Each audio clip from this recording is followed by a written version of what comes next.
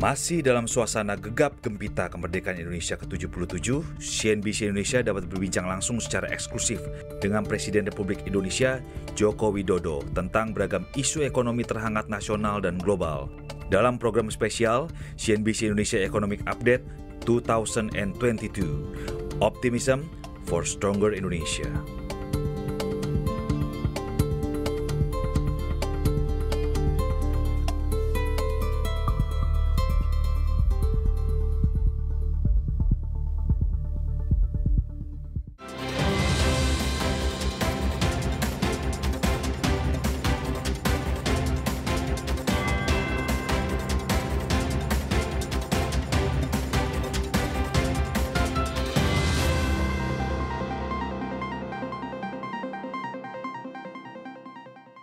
Selamat datang dalam program spesial CNBC Indonesia Economic Update bersama Presiden Republik Indonesia Bapak Haji Joko Widodo.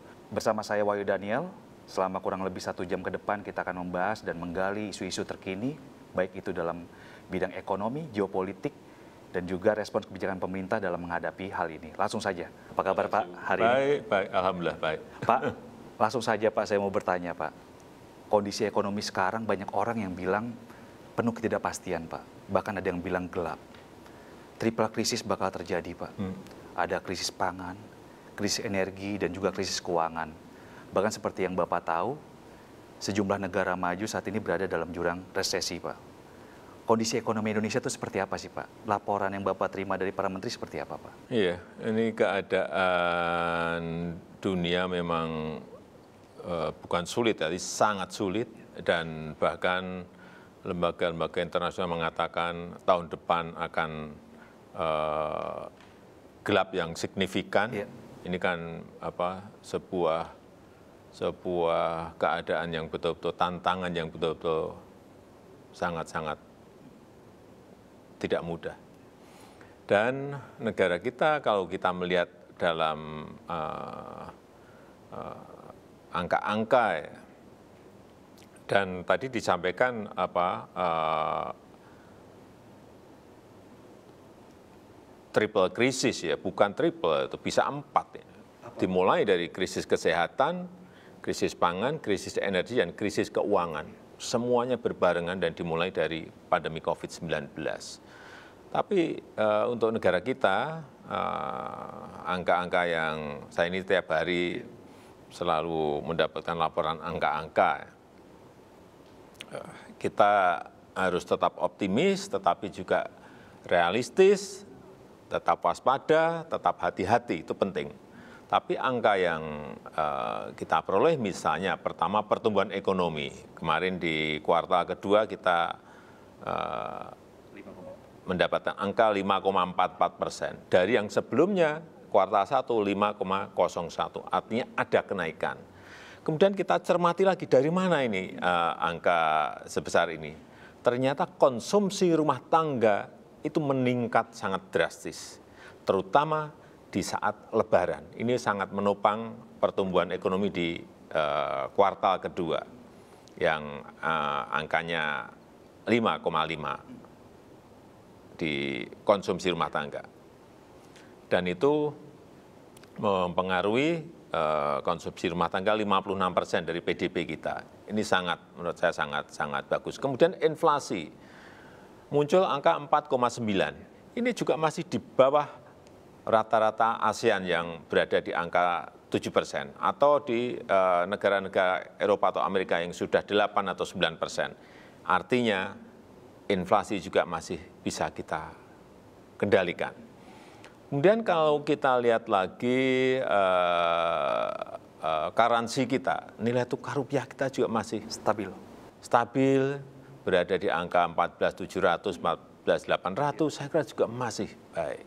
Kalau kita lihat foreign reserve kita, masih di angka 6 bulan impor, 135 miliar US dollar. Ya. Ini juga saya kira bagus. Dan kalau melihat fiskal kita, defisit fiskal kita bukan defisit, justru di bulan Juli kemarin malah kita surplus. fiskal kita surplus 106 triliun rupiah. ah, angka-angka seperti ini pun tetap harus kita waspadai secara detail. Karena kerja sekarang tidak bisa kerjanya makro saja, nggak mungkin. Betul, detail. Makro penting, mikro sangat penting, tapi yang bagus lagi lebih detail itu akan banyak menyelesaikan masalah. Kalau kita melihat angka-angka, jangan juga terjebak di angka saja, tapi lapangannya seperti apa juga dicek. Itu yang paling penting. Ya kan Bapak kan sebagai orang yang sering ke lapangan dulu, sering belusukan, terima laporan menteri nggak percaya. Nah ini bagaimana Pak, Bapak ngelihat lapangan sekarang Pak, kondisi masyarakat seperti apa sih Pak? Saya melihat yang pertama, kalau ke pasar, saya selalu cek masalah harga. Harga seperti apa? Ya cabai masih uh, naik turun. Naik turun. Saya kira sudah bertahun-tahun lah kita memiliki apa uh, harga cabai yang fluktuatif seperti itu. Tapi yang paling penting beras masih pada kondisi yang harga uh, stabil dan uh, aman. Dan kalau kita ke kampung, ke desa, uh, belum ada suara-suara mengenai uh, masalah kenaikan harga meskipun ada kenaikan sedikit di harga pangan kita. Tapi memang Bapak arahannya kepada Menteri untuk detail ya Pak. Jangan sampai nanti tiba-tiba semua makronya bagus, yeah. makronya ini tiba-tiba ada masalah yang... Saya sampaikan tadi Mas Wahyu, makro harus kita tahu betul, mikro kita tahu betul, dan detail kita harus angka-angkanya harus tahu, tetapi juga lapangannya di cross check di lapangan. Ini kerja sekarang memang harus seperti itu. Harus ekstra ya Pak? Iya. Pak, ngomong soal tadi ketidakpastian dan gelap, ini kan semuanya gara-gara perang antara Rusia Ukraine gitu Pak. Nah, yang salah satu yang menyita perhatian publik adalah kunjungan Pak Jokowi ke Rusia, ke Ukraina, dan bertemu dengan kedua kepala negara ini Pak apa sih Bapak yang Bapak sampaikan? Apakah Bapak menyampaikan bahwa ada ancaman-ancaman dan mengerayu mereka supaya damai atau bagaimana? Iya, yang penting kita ini memang harus selalu update informasi ya. dari sumber-sumber yang memang uh, penting untuk ya. kita dengar. Saya kira uh, Bank Dunia, IMF, OECD, kemudian pertemuan-pertemuan di G7 itu penting sekali, G20 nanti juga sangat sangat penting sekali dan uh, saat saya ke uh, Ukraina, ke Rusia, ke Kiev, ke Moskow, saya berbicara uh, banyak dengan Presiden Zelensky uh, selama hampir satu setengah jam di Kiev. Saya ingin agar uh, kedua negara ini ada ruang untuk dialog. Itu aja, nggak, nggak, nggak, nggak usah terlalu kita apa harus damai. Ada ruang ketemu dan ada ruang dialog terlebih dahulu. Kemudian tahapan yang kedua, kalau bisa mulai berbicara mengenai gencatan senjata ini tahapan-tahapannya seperti itu. Tapi setelah saya berbicara dengan uh, Presiden Zelensky uh, selama satu setengah jam, memang ruang itu masih sulit.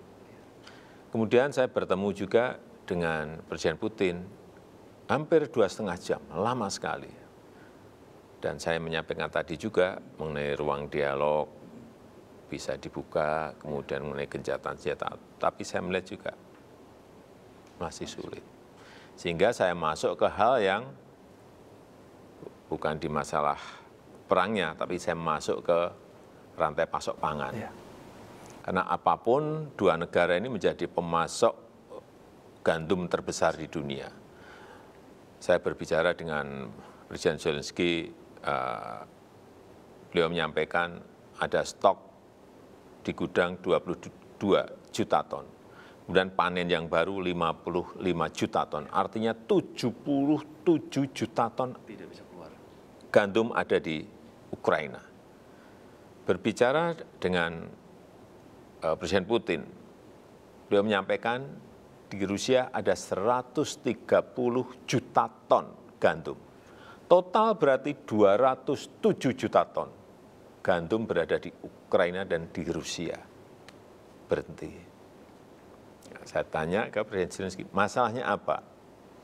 Masalahnya karena tidak ada jaminan bahwa kapal yang masuk ke Odessa di Ukraina itu dijamin keamanannya.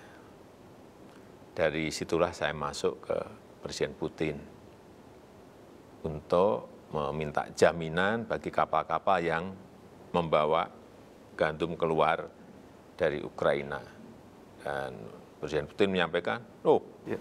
saya berikan jaminan keamanan kalau hanya itu. Dan saya sampaikan apa? Boleh statement ini saya sampaikan ke media? Ya. Oh silahkan. Dan saya sampaikan ke media saat itu. Dan juga saya uh, uh, menginformasikan ke Sekjen PBB Antonio Guterres ya. bahwa sudah ada jaminan keamanan sehingga bisa kapal bisa membawa gandum dari Odessa menuju ke Istanbul. Kemudian ditindaklanjuti dan saya kira uh, kapan dua minggu yang lalu sudah mulai keluar satu kapal. Saya kira ini bagus. Ya, meskipun juga saat ini uh, harganya belum kembali normal Pak Gandum Pak ya? Ya karena belum, belum keluar kan 207 semuanya. itu baru keluar satu kapal iya. kan masih kecil banget iya. jadi harganya masih tinggi itu yang itu yang eh, kita kejar apabila ini keluar harga pangan akan turun lagi dan itu uh, menyangkut kekurangan pangan kelaparan yang ada di negara-negara di Afrika dan di Asia ini harus harus harus segera diselesaikan. Pak, ngomong soal perang antara Ukraina sama Rusia, Pak, kan itu selain krisis pangan juga krisis energi, Pak. Harga minyak naik, harga batu bara naik, dan sejumlah energi lainnya juga mengalami peningkatan. Dan Indonesia sebagai negara yang uh, mengadopsi kebijakan subsidi energi, akhirnya sekarang prediksinya itu subsidi energi bakal bengkak, Pak, sampai 502 Dua. triliun. Dan ini ada potensi untuk kembali meningkat kalau konsumsi tidak tidak apa namanya tidak kita kendalikan gitu Pak. Nah, bagaimana Bapak melihat hal ini gitu Pak? Ya harga minyak sekarang masih berada di angka yang tinggi ya kalau di APBN kita 60-an, nah ini sudah berada di angka mungkin rata-rata 105 ya. meskipun kemarin turun di angka 94 uh, eh, US dollar per barel. Tapi ya apa pun semuanya harus kita hitung. Sehingga kita memutuskan untuk memberi tetap uh, harga kita pertahankan di harga yang sama, tetapi subsidinya yang memang membengkak sampai 502 triliun. Itu pun kalau konsumsinya naik bisa bengkak lagi, naik lagi Pak? Naik lagi. Ini yang harus kita kendalikan. Oleh sebab itu, uh, kemarin uh, rapat dengan Pertamina, kita um, menyiapkan sebuah platform aplikasi yang kita pakai untuk sedikit mengerim agar konsumsinya tidak naik dan itu akan membuat juga kenaikan subsidi yang sangat drastis. Ini yang eh, eh, aplikasi ini yang yang baru masuk ke lapangan, tetapi memang eh, apa pun apbn itu ada ada kekuatannya 502 mungkin masih kuat tapi kalau ditambah mungkin sudah sangat berat sekali atau uh, kalau harga komoditas turun 502 iya. pun mungkin kita juga tidak kuat. Pak kalau misalkan skenario nya tiba-tiba harga minyak masih tinggi dan itu akan membengkak dari 502 triliun, apakah Bapak berani untuk mengambil kebijakan kenaikan harga, Pak? Loh, kalau kalau kalau memang uh, situasinya seperti itu, ingat di negara lain itu harga BBM sudah 17 ribu di rupiah ya. Ada yang sampai 31 ribu, banyak sekali di negara-negara Eropa sudah angkanya 31 ribu. Kita masih 7.650. Bahkan solar masih 5.150 ya. rupiah. Padahal harga keekonomian solar itu 19 ribu. Harga keekonomian dari Pertalite itu sudah 17.100. Pertama harusnya sudah 17.300, kita masih 12.500. Karena apa? Semuanya disubsidi. kenapa Pak harus subsidi Pak? Kenapa kita nggak eh, Ya ini ada langkah? hitungan hitungan resiko ya. Kalau itu kita biarkan sesuai dengan harga pasar, harga keekonomian, inflasi kita juga bisa naik. meledak naik. Itu ada ada ada plus minusnya atau daya beli masyarakat Turun. menjadi turun atau lari lagi ke growth kita menjadi turun juga karena konsumsi rakyat menurun. Ini pilihan-pilihan memang sekali lagi dunia dalam keadaan yang sulit kita pun juga berada pada posisi itu.